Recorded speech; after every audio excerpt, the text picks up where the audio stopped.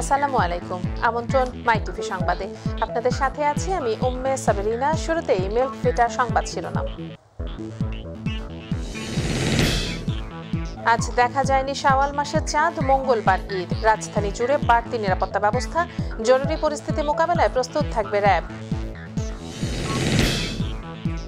এই যাত্রায় চাপ নেই মহাসড়কে। উপচে পড়া ভিড় ফেরিঘাটে। শিডিউল মেনে চলেছে রেল। যাত্রী বোঝাই হলেই ছেড়ে যাচ্ছে লঞ্চ। আওয়ামী লীগের শক্তির উৎস দেশের জনগণ জানিয়েছেন ওবায়দুল কাদের। ভারতের সহযোগিতা চাওয়া, জাতির জন্য লজ্জার বললেন ফখরুল। আজ মহান মে দিবস। এখনও শ্রমিকের অধিকার প্রতিষ্ঠিত হয়নি। কর্মক্ষেত্রে শ্রমিকের নিরাপত্তা ও স্বার্থ সংরক্ষণের দাবি।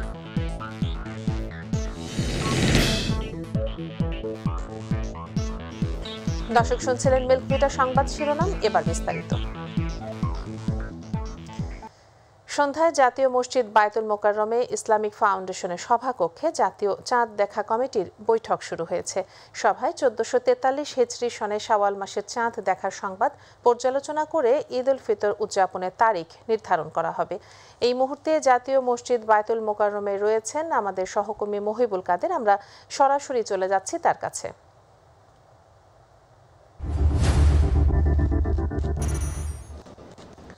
মহিবুল, জাতীয় চাঁদ দেখা কমিটির বৈঠক তো চলছে, তো এই মুহূর্তে সেখানকার কি খবর আপনার কাছে আছে?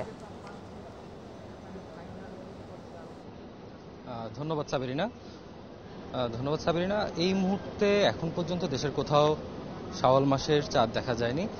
চাঁদ দেখা যাওয়া মাত্রই, চাঁদ দেখা কমিটি তাদের আনুষ্ঠানিকভাবে যে বক্তব্য দেওয়ার কথা সেটি এখনও দেয়নি, কারণ তারা এখন চাঁদ দেখতে পারেনি। চাঁদ দেখা গেলে আনুষ্ঠানিকভাবে এই বক্তব্য দেওয়া হবে। যদি আজ চাঁদ দেখা যায়, সেক্ষেত্রে আগামীকাল ঈদ উল ফিতর অনুষ্ঠিত হবে। আর যদি চাঁদ দেখা না যায়, সেক্ষেত্রে আগামী পরশু দিন, অর্থাৎ তিন তারিখ, ঈদ উল ফিতর অনুষ্ঠিত হবেন এমনটাই বলছেন সকলে। সাবেরিনা, আমার কাছে এখন পর্যন্ত এতটুকুই আছে। চাঁদ দেখা গেলে সেক্ষেত্রে আমরা পরে আবার ফিরে আসতে পারব। মহিবুল আপনাকে ধন্যবাদ। ঈদ জামাতকে কেন্দ্র করে জাতীয় ঈদগাহ ময়দানে চার স্তরে নিরাপত্তা ব্যবস্থা গ্রহণ করা হয়েছে। নিরাপত্তার স্বার্থে মুসল্লিদের ছাতা, জায়নামাজ ছাড়া অন্য কিছুই সাথে না আনার অনুরোধ জানানো হয়েছে। সকালে জাতীয় ঈদগাহ পরিদর্শন করে সার্বিক নিরাপত্তা নিয়ে সাংবাদিকদের সাথে কথা বলেন ডিএমপি কমিশনার ও র্যাব প্রধান।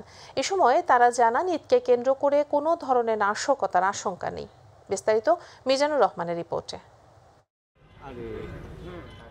গত দু বছর করোনার কারণে বন্ধ থাকার পর এবছর আবারও জাতীয় ঈদগাহ ময়দানে অনুষ্ঠিত হতে যাচ্ছে ঈদের জামাত। এ উপলক্ষে শেষ মুহূর্তের প্রস্তুতি ও সার্বিক নিরাপত্তা ব্যবস্থা পর্যবেক্ষণ করতে জাতীয় ঈদগাহ ময়দান পরিদর্শনে আসেন ডিএমপি কমিশনার শফিকুল ইসলাম ও র্যাব প্রধান চৌধুরী আবদুল্লাহ আল মামুন।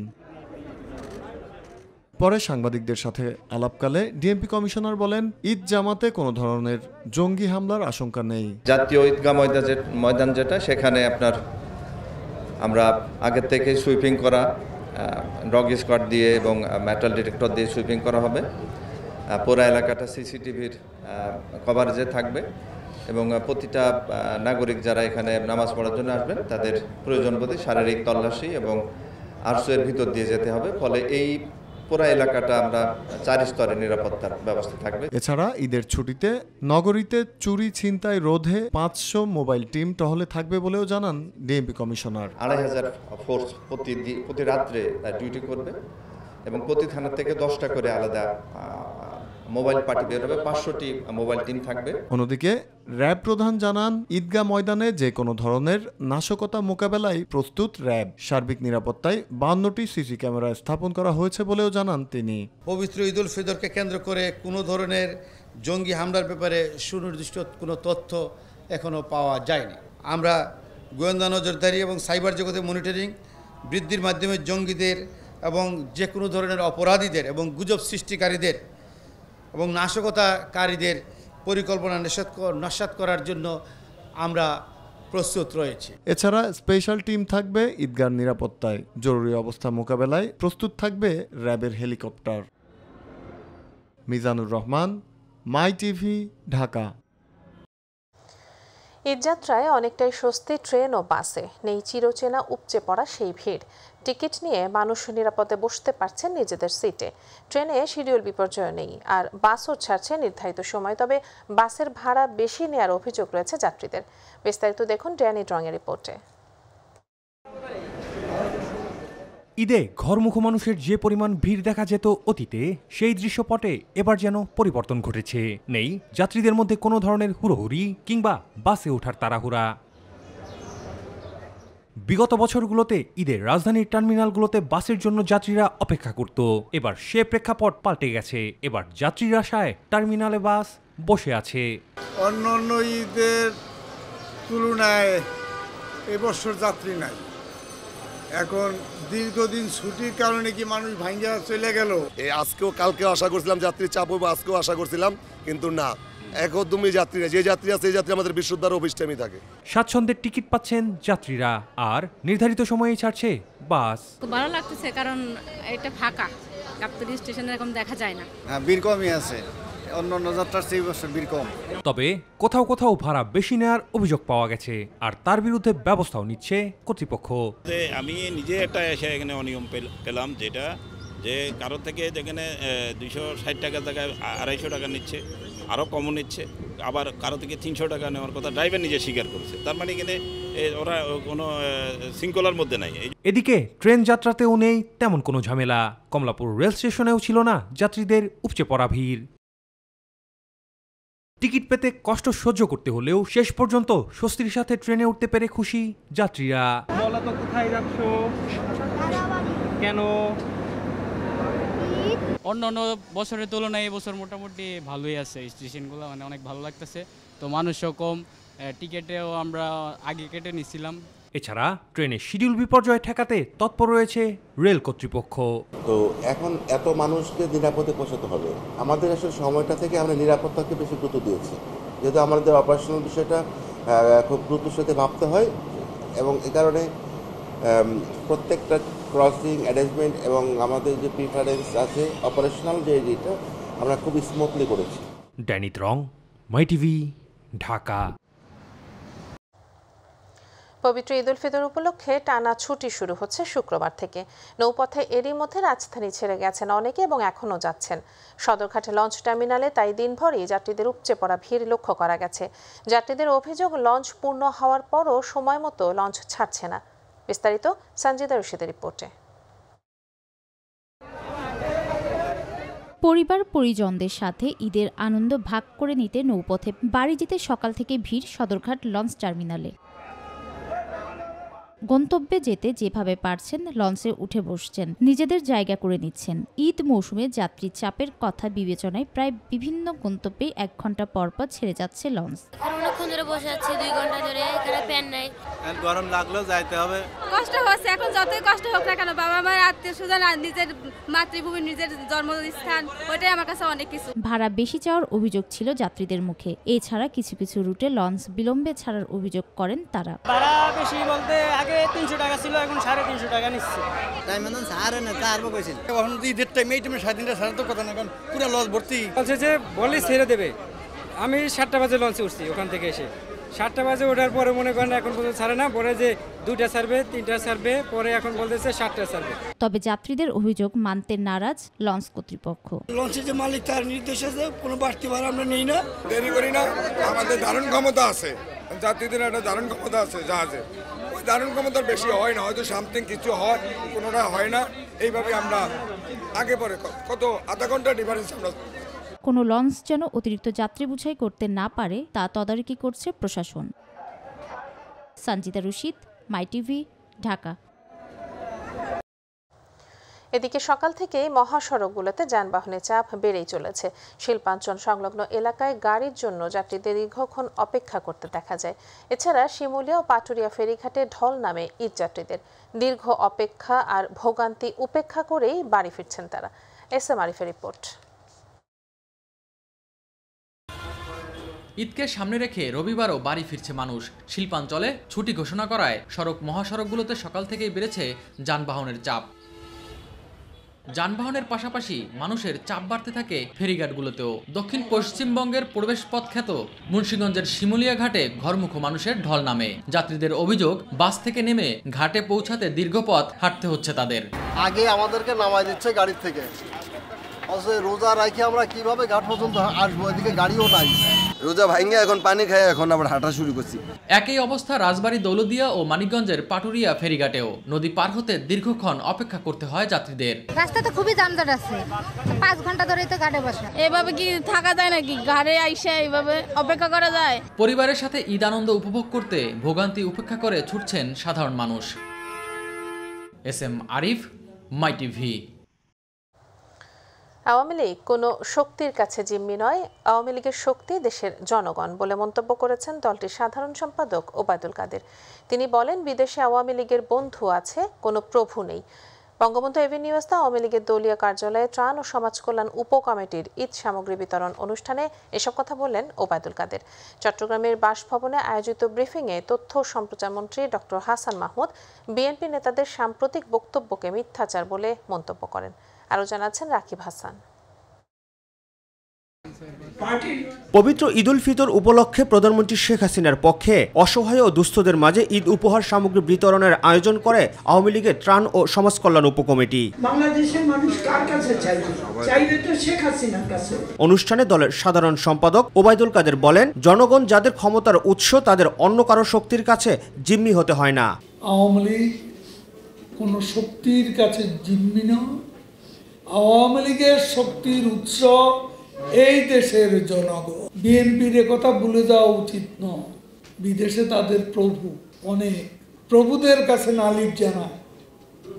আমাদের যারা আছে, তারা বন্ধু, প্রভু নয়। চট্টগ্রামের নিজ বাসভবনে আয়োজিত ব্রিফিংয়ে তথ্য ও সম্প্রচার মন্ত্রী ডক্টর হাসান মাহমুদ বিএনপি নেতাদের সাম্প্রতিক বক্তব্যের কড়া সমালোচনা করেন। বঙ্গবন্ধু কন্যা জননেত্রী শেখ হাসিনা বত্রিশ নম্বরের বাড়িতে গিয়ে একটি মিলাদ পড়াতে চেয়েছিলেন। জিয়া রহমান সেই মিলাদ পড়ানোর অনুমতি দেয় নাই এবং সেই মিলাদ পড়ানোর অনুমতি না দেওয়ার প্রেক্ষিতে বত্রিশ নম্বরের বাড়ির সামনে রাস্তায় বসে জননেত্রী শেখ হাসিনাকে বঙ্গবন্ধু সহ পনেরোই আগস্টের শহীদদের মাগফেরাত কামনা করে মিলাদ পড়াতে হয়েছিল। এই হচ্ছে জিয়া রহমান এবং বিএনপি। আর টুকু সাহেব কি বলে? আসলে মিথ্যাচার করতে করতে ওরা সব বিষয়ে মিথ্যাচার করে। এদিকে ঈদুল ফিতর উপলক্ষে অসহায় ও দুস্থদের মাঝে ঈদ উপহার সামগ্রী বিতরণ করেছে ঢাকা মহানগর দক্ষিণ Awami League. Rakib Hasan my TV Dhaka. RAB ও পুলিশের শীর্ষ সাত কর্মকর্তার ওপর আরোপিত মার্কে নিষেধাজ্ঞা প্রত্যাহারে আওয়ামী লীগ সরকারের প্রতিবেশী ভারতের সহযোগিতা চাওয়া জাতির জন্য লজ্জার বিষয় বলে মন্তব্য করেছেন বিএনপি মহাসচিব মির্জা ফখরুল ইসলাম আলমগীর। তিনি বলেন, এই সরকার সম্পূর্ণভাবে পরনির্ভরশীল হয়ে পড়েছে। তারা নিজেদের স্বার্থ ছাড়া অন্য কোনো স্বার্থ দেখে না। দুপুরে রাজধানী কাকরাইলে বিএনপির কেন্দ্রীয় কার্যালয়ের সামনে থেকে জাতীয়তাবাদী শ্রমিক দলের সমাবেশে তিনি এসব কথা বলেন।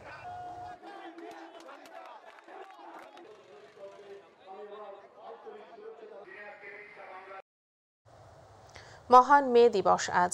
বিশ্বের অন্যান্য দেশের মতো বাংলাদেশেও পালিত হচ্ছে দিবসটি। শ্রমিকদের স্বার্থ সংরক্ষণ, নিরাপদ কর্মস্থল এবং কর্মক্ষেত্রে নিরাপত্তা রক্ষায় কার্যকর পদক্ষেপ নিতে সংশ্লিষ্টদের আহ্বান জানিয়েছেন রাজধানীতে বসবাসকারী শ্রমজীবীরা। সেই সাথে ট্রেড ইউনিয়ন, অধিকার প্রতিষ্ঠা এবং মে দিবসে ভাতা সহ অন্যান্য সুযোগ সুবিধা দেওয়ারও দাবি জানিয়েছেন শ্রমিক নেতারা। মহান মে দিবস নিয়ে জাহিদ আহমেদ বাবুর বিশেষ রিপোর্ট। শ্রমজীবী মানুষের অর্জনের সাফল্য কথা একটি দিন। আঠারোশো ছিয়াশি সালের এই দিনে যুক্তরাষ্ট্রের শিকাগো হে মার্কেটে আট ঘণ্টা কাজের দাবিতে আন্দোলনরত শ্রমিকদের স্মরণে বিশ্বজুড়ে পালিত হয় আন্তর্জাতিক শ্রম দিবস। মহান মে দিবসের এবারের প্রতিপাদ্য, শ্রমিক মালিক একতা, উন্নয়নের নিশ্চয়তা। কিন্তু এখনও পর্যন্ত শ্রমিক মালিকের একতা প্রতিষ্ঠিত না হওয়ায় এখনও শ্রমিকদের বেতন বোনাসের জন্য নামতে হয় রাস্তায়। এই রমজান মাস আমাকে ডিউটি আট ঘণ্টা বারো ঘণ্টা ষোলো ঘন্টাও করছি। এই রোজা এসে করে একদিনও ছুটি দেয় না শুক্রবারে আমাকে বন্ধও দেয় না। দুই মাস ধরে আমরা টাকা পাই না। না ফ্যাক্টরির কাজ বন্ধ কিন্তু আমরা সবাই বসে আছি বেতনের জন্য। বিশ্বব্যাপী দিবসটি স্মরণ করলেও এদেশের খেটে খাওয়া শ্রমজীবী মানুষ জানে না মে দিবস কি। তাই তো মে দিবসেই কাজ করতে হয় তাদের। জানি তাহলে তো করি না আমরা। রেট বাড়া দিলে একটু বেশি পরে রেট কমা দিলে কম পড়ে আড়াইশো করি তিনশো করি দুইশো করি। শ্রম গবেষকরা বলছেন শ্রমিক যদি হয় শিল্পের হাতিয়ার তবে অবশ্যই তাদের স্বার্থ রক্ষা ও সুযোগ সুবিধা প্রদানে সরকার ও শিল্প মালিকদের এগিয়ে আসতে হবে। তারা দেশটারে উন্নয়নের পথে মধ্যম আয়ের দেশের পথে রেখে দিয়েছে। অথচ সেই শ্রমিকদের আজকে তারা বৈষম্যের শিকার হচ্ছে। আমাদের দেশে যে আইন আইন অনুযায়ী যে শ্রম আমরা মজুরি পরিষদের যে সময়সীমা সেটা পার হয়ে যাচ্ছে মালিক তবুও দিচ্ছে না। মূল যে চেতনা মে দিবসে কর্মঘণ্টা সেখানে কিন্তু অনেক পিছিয়ে আছি আমরা। তবে গার্মেন্ট শিল্প মালিকদের সংগঠন বিজিএমইএ মনে করে আগের চেয়ে শ্রমিকদের কর্মক্ষেত্রে মর্যাদা বেড়েছে। কয়েকটি ধাপে শ্রম আইন আমরা সংশোধন করে শ্রমিকদের অধিকারকে নিশ্চিত করেছি। শ্রম আইনকে এর মধ্যে অ্যামেন্ডমেন্ট করা হয়েছে ইমপ্রুভ করা হয়েছে। এটা শ্রমিকদের শ্রমিকদের স্বার্থেই এবং শ্রমিকরা যেন আরও সুযোগ সুবিধা পায় সের সাথে অথচ ন্যূনতম মজুরি নির্ধারণ না হওয়ার কারণে পেটের দায়ে এখনও শ্রমিকরা সামান্য মজুরিতেও কাজ করে যান। শ্রমিকরা শিল্পের প্রাণ। তাদের নিরাপদ কর্মস্থল এবং যথাযথ মূল্যায়ন নিশ্চিত করা হলে কাজে মনোযোগ বাড়বে, কারখানায় বাড়বে উৎপাদন। বাঁচবে শিল্প। আর এর মাধ্যমে এগিয়ে যাবে দেশ। মহান মে দিবসে এমনটাই প্রত্যাশা সবার। জাহিদ আহমেদ বাবু মাই টিভি ঢাকা।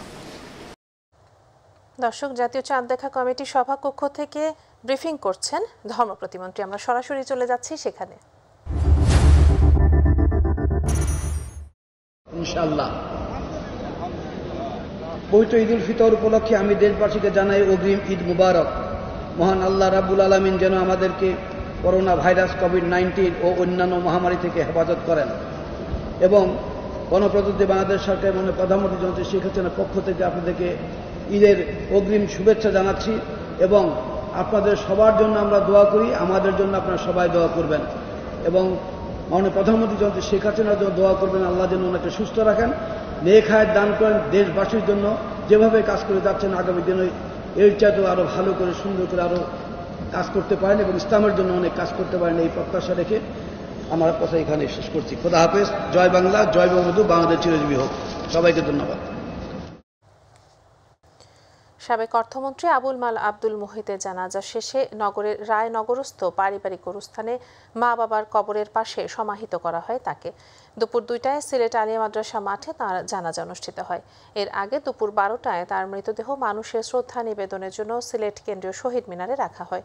সেখানে সর্বস্তরের মানুষ তাকে শেষবারের মতো শ্রদ্ধা নিবেদন করেন।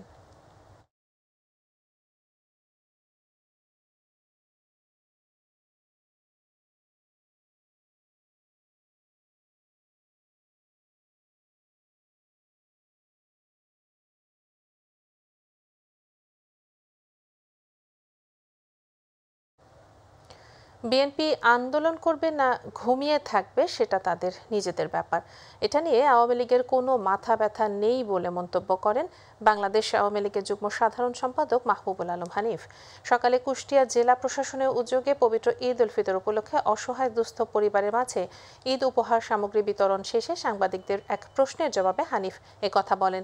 এ সময় কুষ্টিয়া জেলা প্রশাসক মোহাম্মদ সাইদুল ইসলাম, পুলিশ সুপার মোহাম্মদ খায়রুল আলম সহ প্রশাসনের ঊর্ধ্বতন কর্মকর্তারা উপস্থিত ছিলেন।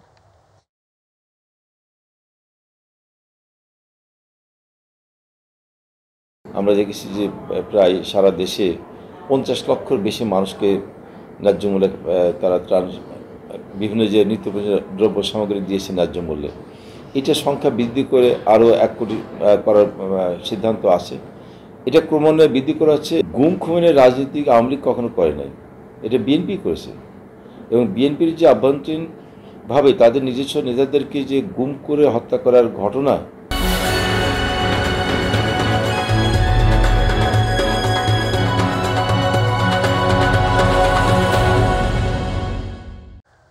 আফগানিস্তান এবং আফ্রিকার দুই দেশ নাইজার ও মালিতে আজ পবিত্র ঈদ উল ফিতর উদযাপিত হচ্ছে। তবে আরব ও মুসলিম বিশ্বের বেশিরভাগ দেশে সরকারিভাবে সোমবার শাওয়াল মাসের প্রথম দিন হিসেবে ঘোষণা করা হয়েছে। শনিবার আফগানিস্তানের কয়েকটি প্রদেশে পবিত্র শাওয়াল মাসের চাঁদ দেখা যাওয়ায় আজ পবিত্র ঈদ উল ফিতর উদযাপিত হচ্ছে দেশটিতে। শনিবার দেশটির সর্বোচ্চ আদালত চাঁদ দেখতে পাওয়ার ঘোষণা করায় আজ দেশটিতে ঈদ উল ফিতর উদযাপিত হচ্ছে।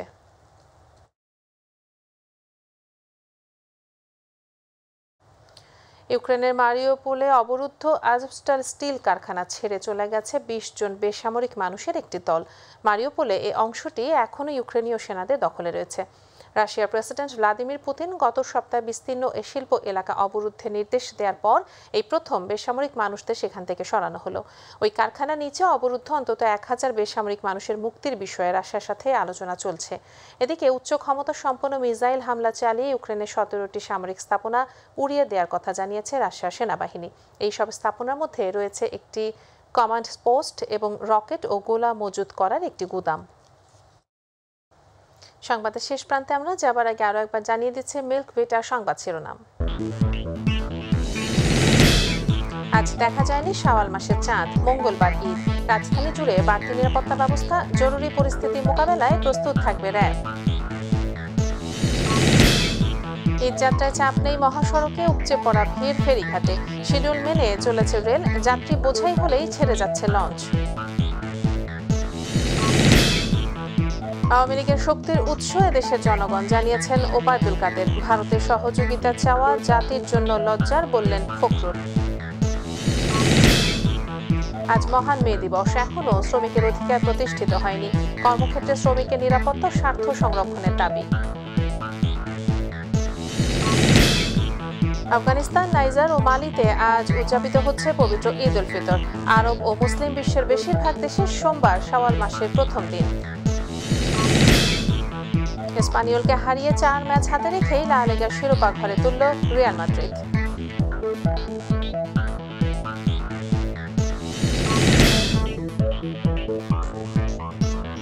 এতক্ষণ সঙ্গে থাকার জন্য ধন্যবাদ সবাইকে। পরবর্তী সংবাদ রাত নটা বেজে ত্রিশ মিনিটে দেখার আমন্ত্রণ জানিয়ে বিদায় নিচ্ছে। আমি উমেশ আল্লাহ হাফেজ।